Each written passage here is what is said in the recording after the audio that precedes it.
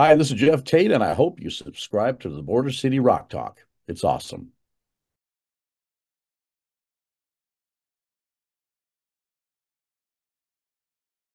Hey, how you doing, Geoff? I'm doing good, doing good. That's Recovering awesome. from my birthday, actually. What? I'm recovering from my birthday. Oh, you're a, when was your birthday? Was it yesterday? Uh, was the 14th. So it was a nine day recovery period. Oh yeah, oh yeah. Did you did you uh, get into the vineyard in your Uh, backyard there with your no, I wine? I think I just uh I had a lot of uh good fun with uh some of my close friends, and uh the next day I woke up and I had the flu. So I'm just Oh, recovering, you know, trying to get back in the saddle, so to speak.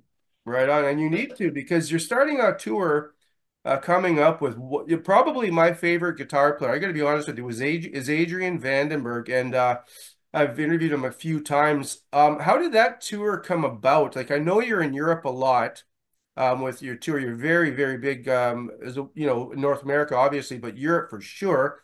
How did uh, the tour come together with you and Adrian? Like, that's going to be quite a bill. Well, wish I had a more exciting story, but honestly, we're man managed by the same um, agent, you know, who books our shows, and our agent thought it would be a nice fit for North America, and so he put us in contact with each other, and we worked out the details, and you know, so we're we're going to be playing together, which is great because I've I don't think I've ever met the man, you know, so I'm looking forward to hearing him play and meeting him and seeing what he's all about.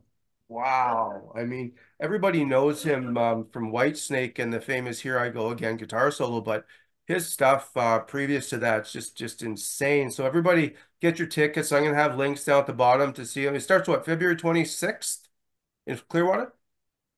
I, yeah, I think so. You probably know better than I do. I just looked it up a minute ago, so maybe I do. And and how many shows are in that run roughly? Is about uh, you go for about a month and a half or a month? Yeah, I think it's uh again, Ernest, I don't know. I think it's a month and a half, something like that. Yeah. Okay. Um, and then you're going to be doing some a show up in Canada, part of the uh in Toronto at El Mocambo. Have you played there before? Um, not that I know of. Okay, it's a very famous um rock venue. That's part of your big rock show hits um tour. And actually, speaking of Canada, I just came across and I didn't realize that you spent time up in Montreal writing Operation Mindcrime in that restaurant. Yeah. Well, it wasn't a restaurant then, it was a bar. Yeah. Okay. So they're Yeah. closing, unfortunately, but I mean, Yeah, I wow. heard that. Yeah, Yeah. I heard about that. Like uh the Saint Sulpice, I think it's Yeah. called. Yeah, it's closing after phew, years and years and years. Yeah. Wow, that's too bad. Everything closes, doesn't it? It's crazy. Everything's going online. Yeah. pretty soon they're going to be able to uh, email you your meals. So, I mean. Yeah. Oh, before I forget, um, you vote, right?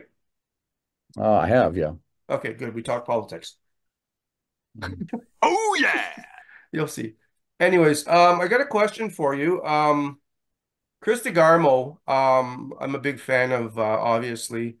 Um, now here's the scenario. If, say, me and you were to fly from LA to Chile, who would you rather pilot the plane? Me, you, or Chris DeGarmo? Well, Chris, because he's a professional pilot and has been trained. I don't know about you. Yeah, And I know I haven't. I don't even know if um you'd want to be in a plane with me, let alone piloting it. But yeah. So when you were going solo, when um you left Queensryche, and actually I gotta be honest with you, I think you have a more of more of a following. I know you have more of a following than um your former bandmates in Queensryche. But anyways, was there any thought about uh, bringing Chris in to play guitar? Uh, no, no, no. Chris and I, we had 30 years, you know, of uh, creating real interesting music, and I'm very proud of what we did together. And uh, you know, I think we gave that uh, we gave that chemistry a really good run, you know. Mhm. And uh, so I I wish him luck in his endeavors, and and uh, I hope things work out well for him. That's awesome. Awesome to hear. Um, and then here's a, something I, I'm curious about. Um, with Kieran leaving the band, I was shocked as I'm pretty sure most fans of uh, Geoff Tate's and and Kieran Robertson were shocked. Um, we, we're we're kind of under. We don't. I don't understand why he he left because I don't think LA Guns would attract as much attention as Geoff Tate would. Oh, he's playing with LA Guns? That's what I heard. Or Oh. Faster Pussycat, one of the two. Sorry, I forget. I get Oh, the. I think it's Faster Pussycat. Yeah. Okay, sorry guys. Yeah. Um, yeah, so I mean, there was no falling out. Obviously, he left on good terms because I think I've seen the press release by both you and him Yeah.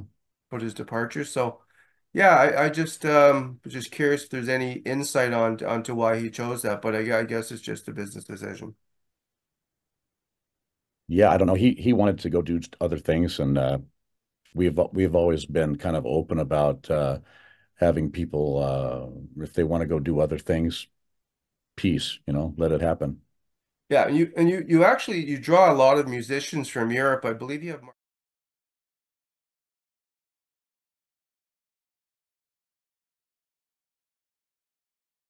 That's where I saw that. Yeah, exactly.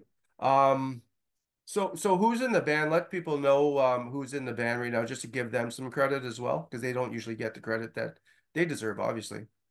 In my touring band at the moment, Yeah, let's see, for the upcoming shows, I have to think about who is in right now. Um, okay, on on lead guitar, we have Amaury Altmeyer, who's a wonderful uh, Frenchman guitar player. And we have uh, Dario Parente from Italy on lead guitar. Uh, we have uh, Jack Ross yeah, Jack and bass. from uh, from Scotland. Uh, Danny uh, Laverde from Cincinnati. uh, and we have uh, James Brown on guitar from Ireland.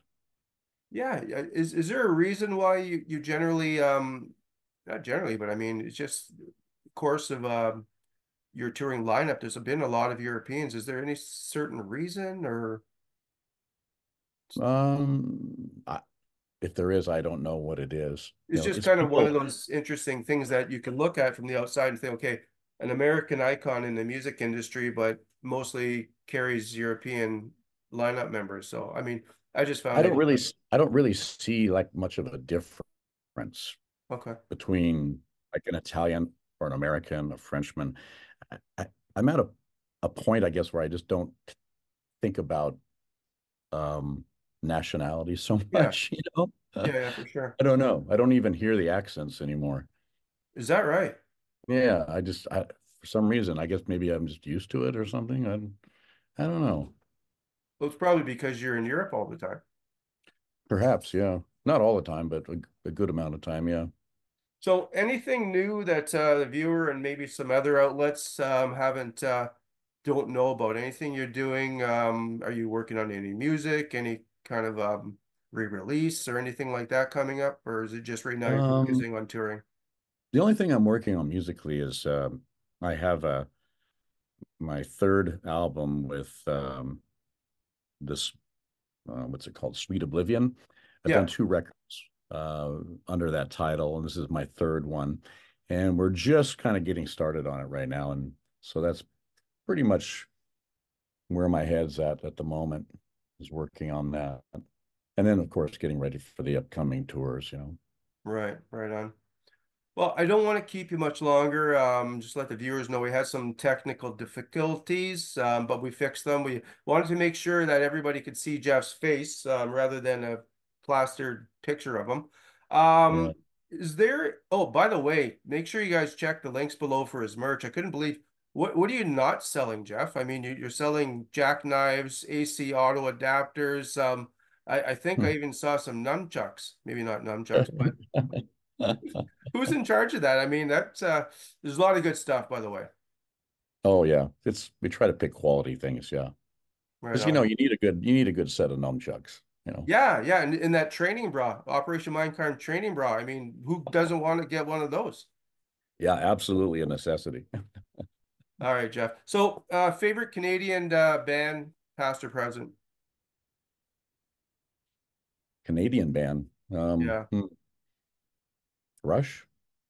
I guess. But he says Rush. We've got more than Rush and maple syrup and snowballs. Yeah, I think that's it, isn't it, from Canada? What about Scott Moulton? Scott, he's no, he's not really a band, is he? No. Um, he could be. I mean, I The, should the band said, of one. I should have said uh, band or artist. So yeah, okay. So Rush, yeah, we get it. We get it. Everybody likes Rush. okay, Mhm. perfect. Um, opposite of unsubscribe. Subscribed. Yeah. Everybody do as Geoff Tate says and subscribe to the channel for these great interviews. Uh, check out the links below for all the shows. Make sure you get some merch. Um, pretty sure um, if you whatever you need, it's probably there with Operation Mindcrime on it. And uh, yeah, thanks a lot for your time, Geoff. Thanks, Ernest. I'm glad we worked out our uh, technical stuff because we're smart. See you Yes. next time. Okay. That's right. Yeah, YouTube is a blast. Thanks a lot, buddy. All right. Take care now. Bye.